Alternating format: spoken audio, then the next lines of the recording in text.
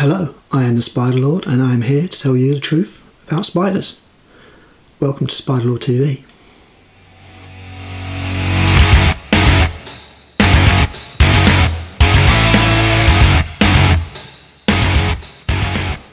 Okay, so following on from the previous two species videos, Steatoda nobilis and Eratigena atrica, we are going to move on to a, another very common spider in the UK, uh, and another one that is the uh, subject of another old wives' tale uh, myth.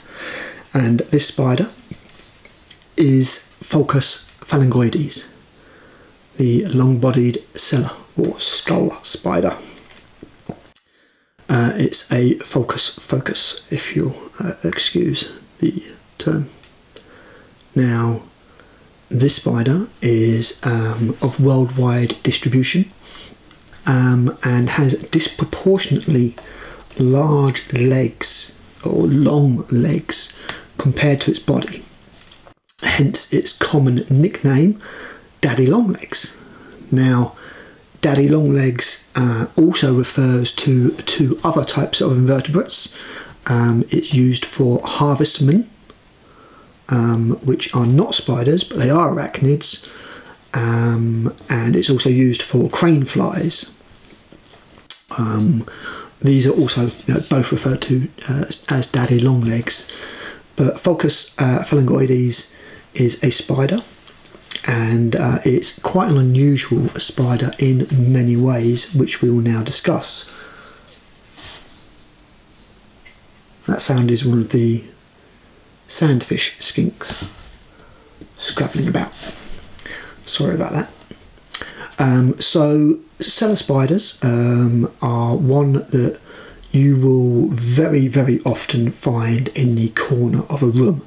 In fact, I've got one up there and one there that looks like it's just molted. Now, normally I would uh, evict these spiders for a reason you'll find out very soon, but it's a little bit cold at the moment and they don't do well in cold temperatures. You will generally find them in sheltered areas, um, car parks, sheds, they're big on sheds, uh, in corners of rooms, as I've said, sometimes down at the bottom of the rooms as well. They like sheltered areas, they like warmer climates. You won't tend to find them in um, in very very very cold places. They don't winter well at all. So for that reason, they get to stay for now. Um, and the reason for that, and the reason why I'm not particularly fond on this particular species of spider, is that they are expert spider hunters. And I mean expert. They will quite happily take down giant house spiders. Now you might wonder why. How can this remarkably spindly, fragile looking spider take down a great big chunky Eratigena atrica? And this is down to their legs and also their silk spinning skills. So, what will happen is a, um, a, a Pholcus will approach its prey, raising itself up on its, its legs like this, keeping its body high out of the way, so that should the spider uh, manage to get a strike in first, all it's going to bite is the leg it's not going to bother it too much. I mean, the spider's legs, they can even drop them if they need to. But before that happens, generally what happens is the Pholcus has formed a cage around the spider with its legs, and then it uses its astonishing silk spinning skills and wraps the spider up before it even knows what's happening. It doesn't even bother to bite, it, it's spun really, really quick. The spider is then immobilized, and then the Pholcus can um, bite the wrapped spider, uh, allow its very weak venom to take effect, uh, and then feed um, at its leisure. And uh, they are experts at doing this. They are experts at taking out other types of spider. In fact, if you don't want spiders in your home, your best bet is those guys because they will remove other species of spider. Um, they will also live in close proximity to each other, unlike most species of spider. but if food is scarce, they will even prey upon each other. So they are entirely cannibalistic.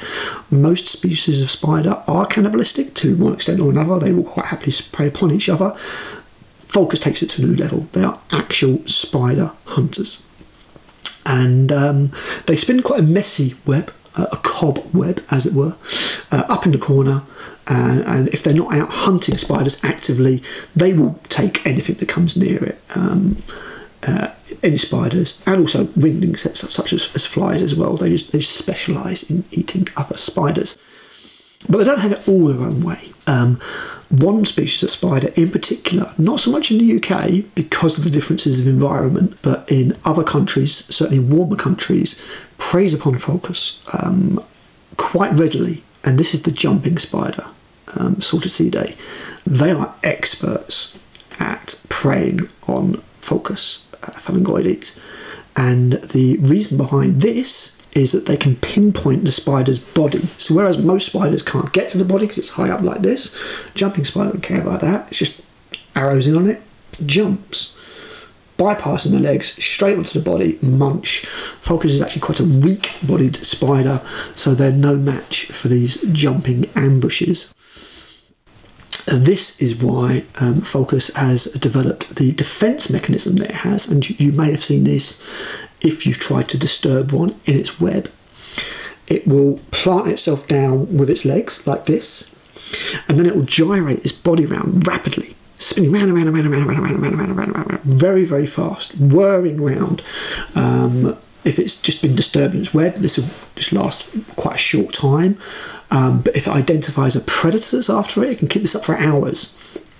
And obviously, that spinning round makes it very difficult for the jumping spider to successfully pinpoint the spider's body, land on it, and kill it. Um, so this is its defense mechanism against its predators. Now, the other thing about Pholcus phalangoides is that they uh, they breed very rapidly. Um, once you've got a couple in your house, before long you'll end up with loads. Um, they breed much like any other spider, with the male risking the uh, the uh, the danger of being eaten. Um, one of the differences um, from a lot of spiders is unlike having a fixed egg sac that it will leave on um, like a wall or in the web, the female will actually have a bundle of eggs which are very visible as eggs. There's no fixed silk around them that are stuck together that she'll hold between her pedipalps at the front um, that will then just hatch directly into spiders. These spiders and then clamber onto the mother and then disperse after a few days to a week. Uh, and as I've said, they will cannibalise each of each other, so they, they will disperse, but there's only so much food to go around, so not all those spiders are going to survive. But you will find that if you've got Pholcus uh, phalangoides, you generally will have quite a lot of them. Um, they are a prolific species to say the least. Now, at the start of the video, I did announce, um, or I did say that there was a uh, an old wives' tale regarding this species, and you probably know what it is people say that this particular species has a very, very, very high venom, a lethal venom, but they just can't bite. And because they can't bite, we're safe.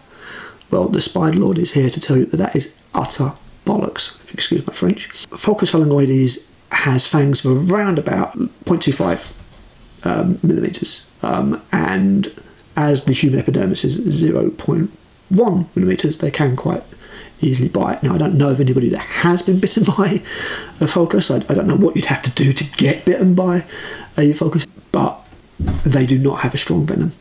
Uh, in fact, they have a very weak venom, which is why they rely upon their spinning tactics. Um, nonetheless, they are a very interesting species of spider. Not entirely welcome in my house, as I said. Warm days, they'd get bunted outside, but for now, they can stay. And, hopefully they won't eat the uh, Steatoda habilis that I've got up in that corner. I might have to rescue that at some point. So yeah, hopefully you found this interesting. We'll be on with another spider um, very soon. I've got a feeling I might pick Amaurobius, the lace weaver. I think that might be a fun one to cover. Um, so until next time, stay safe and uh, remember, chill out. It's just a spider. Cheers.